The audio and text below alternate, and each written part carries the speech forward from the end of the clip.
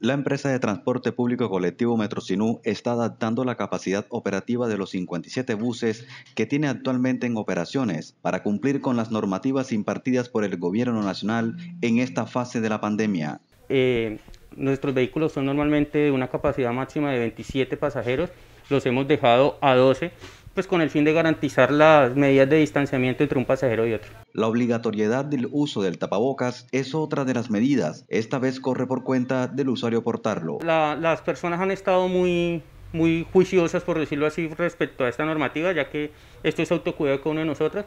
Igual cuando no, el conductor lo, se lo ha hecho saber, pero la comunidad ha respondido muy bien.